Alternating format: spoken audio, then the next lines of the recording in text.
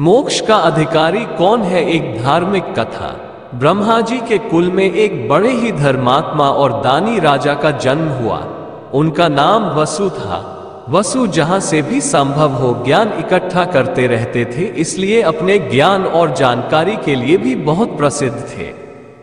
एक दिन वसु ब्रह्मा जी से मिलने पहुँचे। ब्रह्मा जी के भवन में देवों की सभा चल रही है। इतने में रैबिया मुनि आ वहाँ गए। रैभ्य देवगुरु बृहस्पति से मिलने आए थे।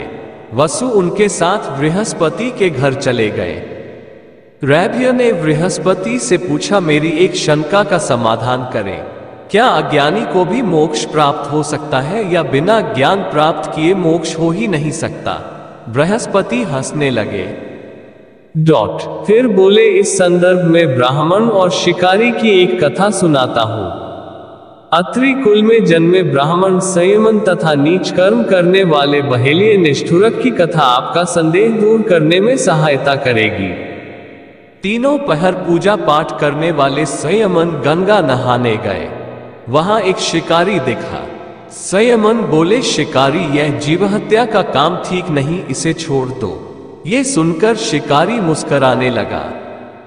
इससे पहले कि संयमन कुछ बोलते शिकारी बोल पड़ा, सभी प्राणियों में आत्मा के रूप में भगवान बसते हैं। सच्चे पुरुष को चाहिए कि वह इस अहंकार को त्याग दे कि मैं करता हूँ। कोई कुछ नहीं करता। जो करता है, सब ईश्वर करता है। सब प्रभु की लीला है तो ऐसे में क्या शिकार और क्या शिकारी? मारने वाला भी वही, मरने वाला भी वही। आप किसी को हीन न समझे।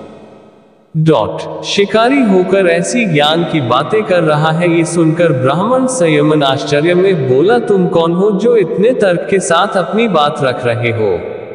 शिकारी ने कोई जवाब नहीं दिया।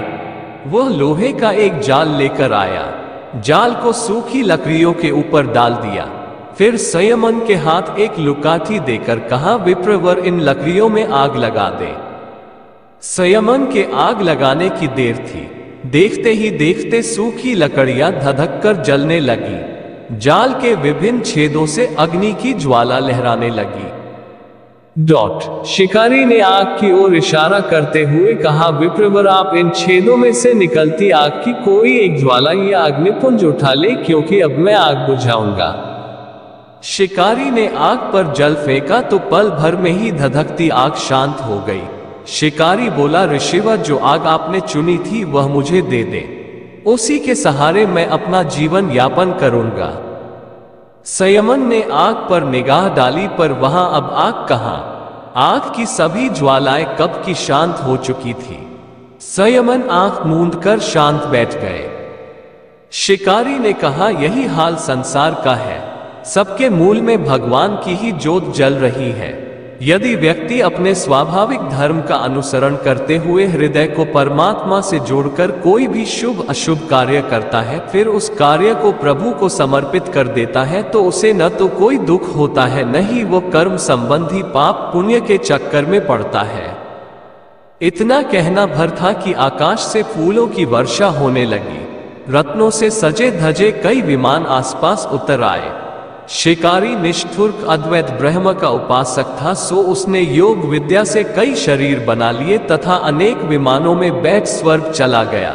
बृहस्पति बोले तो हे राजन, वसु और मुनिवर रैभ्य इससे ये सिद्ध होता है कि अपने वर्ण और आश्रम के अनुरूप कार्य करने वाला कोई भी व्यक्ति ज्ञान प्राप्त करने के बाद मुक्ति का अधिकारी हो जाता है।